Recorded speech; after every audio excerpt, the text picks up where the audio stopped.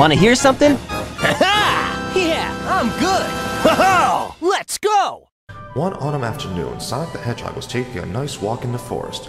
He and Tails were going to get married in two days, so he wanted some alone time to think about things. Holy mackerel, if I can have one more one-night stand, I could be able to live with Tails'